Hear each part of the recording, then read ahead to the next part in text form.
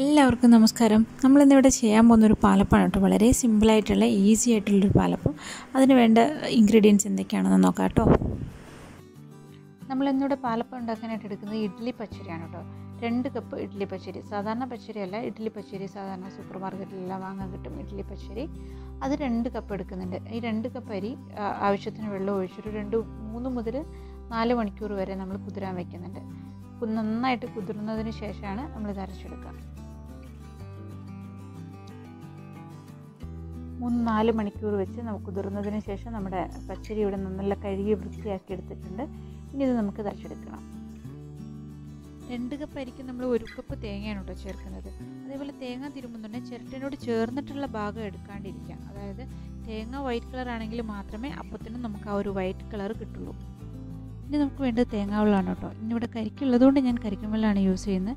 ഇല്ലാന്നുണ്ടെങ്കിൽ നമ്മളിപ്പം അപ്പത്തിന് അരയ്ക്കാൻ എടുക്കുന്ന തേങ്ങയുടെ വെള്ളം തന്നെ നമുക്ക് ഉപയോഗിക്കാം ഇതിലേക്ക്. നമ്മുടെ തേങ്ങാവെള്ളം ഞാൻ ഒരു ഗ്ലാസ്സിൽ ഒരു ഹാഫ് ടീസ്പൂൺ പഞ്ചസാരയും കൂടെ ചേർത്ത് നന്നായിട്ട് മിക്സ് ചെയ്ത് വെച്ചിട്ടുണ്ട്. ഇനി നമ്മൾ മിക്സിയിൽ അരി അരയ്ക്കുന്ന ടൈമിൽ ഇതും കൂടെ ചേർത്ത് കൊടുത്തിട്ടാണ് അരച്ചെടുക്കുന്നത്.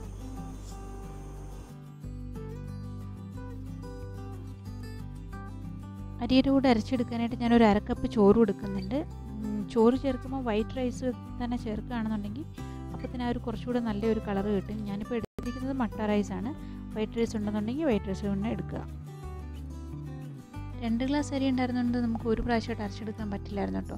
അപ്പം ഞാൻ ആദ്യം കുറച്ച് പകുതി അരി എടുത്ത് അരച്ച് വെച്ചിട്ടുണ്ട്. ബാക്കി ഇപ്പോൾ രണ്ടാമത് ഞാൻ ബാക്കി ഉണ്ടായിരുന്ന അരിയും പിന്നെ അതിലേക്ക് നമ്മൾ എടുത്തു വെച്ചിരിക്കുന്ന ചോറും തേങ്ങയും എല്ലാം ചേർത്ത് കൊടുത്തിട്ടുണ്ട്. പിന്നെ അതുകൂടാതെ നമ്മൾ റെഡിയാക്കി വെച്ചിട്ടുണ്ടായിരുന്നല്ലോ തേ തേങ്ങാവെള്ളം തേങ്ങാവെള്ളവും പഞ്ചസാര കൂട്ടും അതും ഇതിലേക്ക് ആഡ് ചെയ്ത് കൊടുക്കുന്നുണ്ട്. ഇപ്പം നമ്മൾ അപ്പത്തിനുള്ള മാവ് അരച്ച് വെച്ചിട്ടുണ്ട്. അതിലേക്ക് നമ്മൾ കാൽ ടീസ്പൂൺ ഈസ്റ്റ് ചേർത്ത് കൊടുക്കുന്നുണ്ട്.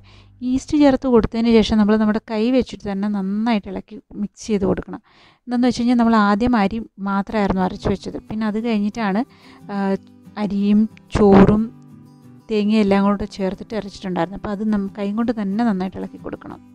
ഈ അപ്പ- മാവ് നമുക്കിനി യൂസ് ചെയ്യണമെങ്കിൽ എട്ട് മണിക്കൂർ നന്നായിട്ട് പൊളിച്ച് വരണം. അതിന് ഓരോ സ്ഥലത്തെയും ക്ലൈമറ്റ് അനുസരിച്ചിട്ട് ഇത് പുളിക്കുന്ന ടൈം അങ്ങോട്ടും ഇങ്ങോട്ടും ചേഞ്ച് ആവും കേട്ടോ നമ്മുടെ പാലപ്പത്തിന്റെ മാവ് നന്നായിട്ട് പൊന്തി വന്നിട്ടുണ്ട്. ഇതിപ്പോൾ നമ്മൾ ഇതിനകത്തിൽ ഈസ്റ്റ് എന്ന് പറയുമ്പോൾ ഒരു കാൽ ടീസ്പൂൺ ഈസ്റ്റ് മാത്രമേ ചേർത്തിട്ടുണ്ടായിരുന്നുള്ളൂ. ബാക്കി നമ്മുടെ തേങ്ങാ വെള്ളത്തിൽ നമ്മൾ പഞ്ചസാര ചേർത്തിട്ടുണ്ടാക്കിയ ആ ഒരു മിക്സ് കൊണ്ട് കാരണമാണ് ഇത് ഇത്ര നന്നായിട്ട് പൊന്തി വന്നിട്ടുള്ളത്. ഇതിലേക്ക് നമ്മൾ ആവശ്യത്തിന് ഉപ്പും ഒരു പഞ്ചസാരയും ചേർത്ത് കൊടുക്കുന്നുണ്ട്. അതിനുശേഷം ഒരു അഞ്ച് മിനിറ്റ് കഴിഞ്ഞിട്ട് നമുക്ക് അപ്പം ഉണ്ടാക്കി തുടങ്ങാം.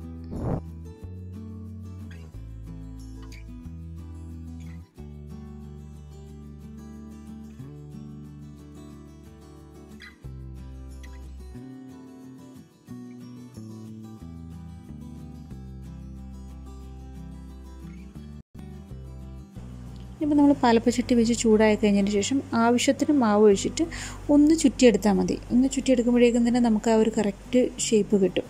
പിന്നെ അതേപോലെ തന്നെ നമ്മൾ പാലപ്പച്ചട്ടീന്റെ ചൂട് ഒരുപാടങ്ങ് ചൂട് വേണ്ട. ആവശ്യത്തിനുള്ള ചൂട് മാത്രം മതി. ഒരുപാടങ്ങ് ചൂടായി പോയി കഴിഞ്ഞാൽ നമ്മൾ ആ ഒരു ചുറ്റ് മാവ് ഒഴിക്കുമ്പോൾ തന്നെയും പിന്നെ നമുക്ക് ചുറ്റാൻ നല്ല ബുദ്ധിമുട്ടായിരിക്കും. ചുറ്റുന്ന ടൈമിൽ നമുക്ക് ആ ഒരു ലേസ് കറക്റ്റായിട്ട് വരില്ല. അവിടെ എവിടെയൊക്കെ ചുരുങ്ങി ചൂടി പോകും അപ്പോൾ അതുകൊണ്ട് ആ ഒരു തീ കറക്റ്റായിട്ട് മെയിന്റെയിൻ ചെയ്യുക അങ്ങനെ പാലപ്പം നമ്മളിവിടെ നല്ല സോഫ്റ്റായിട്ട് നല്ല സൂപ്പറായിട്ട് വന്നിട്ടുണ്ട് കേട്ടോ അത് എന്ന് വെച്ചാൽ അതിന് നല്ല വൈറ്റ് കളറും അതിന് ചുറ്റിനുള്ള ലേസും ഒക്കെ നല്ല കറക്റ്റായിട്ട് വന്നിട്ടുണ്ട്. ഇതെല്ലാവർക്കും നല്ല സിമ്പിളായിട്ട് ട്രൈ ട്രൈ ചെയ്യാവുന്നതേ ഉള്ളൂ കേട്ടോ അതായത് ഇപ്പം റൂമിൽ ബാച്ചിലേഴ്സായിട്ടൊക്കെ നിൽക്കുന്നവർക്കാണെന്നുണ്ടെങ്കിൽ ഒരു കപ്പ് അരിയും കുറച്ച് ചോറും കുറച്ച് തേങ്ങ ഉണ്ടെന്നുണ്ടെങ്കിൽ നല്ല സിമ്പിളായിട്ട് ഉണ്ടാക്കിയെടുക്കാം. പിന്നെ അരി കുതിരാനുള്ള ടൈമും പുളിക്കാനുള്ള ടൈമും കുറച്ചൊന്ന് ക്ഷമിക്കണമെന്ന് മാത്രമേ ഉള്ളൂ. അതല്ലാണ്ട് നമ്മളിപ്പം പണ്ട് അമ്മമാരൊക്കെ ഉണ്ടാക്കിയിരുന്ന പോലെ കപ്പി കാച്ചി ക- മാവ് കുറുക്കി അങ്ങനെ ഒന്നും ഉണ്ടാക്കേണ്ട ഒരു കാര്യമില്ല. അങ്ങനെയൊക്കെ ചെയ്ത് വരുമ്പോൾ നമുക്ക് ചിലപ്പോൾ ഫ്ലോപ്പായി പോകാനുള്ള ചാൻസ് ഉണ്ടാവും. ഇതൊന്നും വേണ്ട. വളരെ സിമ്പിളായിട്ട് നല്ല രീതിയിൽ ഉണ്ടാക്കിയെടുക്കുക എല്ലാവരും ട്രൈ ചെയ്ത് നോക്കാം. ഓക്കെ അത് നമ്മുടെ സിമ്പിൾ ആൻഡ് സോഫ്റ്റ് പാലപ്പം ഞാൻ ഒന്നുകൂടെ കാണിക്കുക കേട്ടോ. എല്ലാവരും ട്രൈ ചെയ്ത് നോക്കുക ട്രൈ ചെയ്ത് നോക്കിയതിന് ശേഷം ഫീഡ്ബാക്ക് കമൻസിലൂടെ പറയുക. ഈ ചാനൽ സബ്സ്ക്രൈബ് ചെയ്തിട്ടില്ലാത്തവരാണെന്നുണ്ടെങ്കിൽ സബ്സ്ക്രൈബ് ചെയ്യുക. അതിന് ശേഷം എന്തെങ്കിലുമൊക്കെ ഇമ്പ്രൂവ്മെന്റ്സ് വരുത്താനുണ്ടെന്നുണ്ടെങ്കിൽ എല്ലാവരുടെയും ഫീഡ്ബാക്ക് അറിയിക്കുക. അതനുസരിച്ചിട്ട് നമുക്ക് വരുത്താനുള്ള ചേഞ്ചസ് നമുക്ക് ചെയ്യാൻ വേണ്ടിയിട്ടാണ് കേട്ടോ. ഇതുവരെ തന്ന സപ്പോർട്ട് ഇനിയും ഉണ്ടാവണം. Thank so much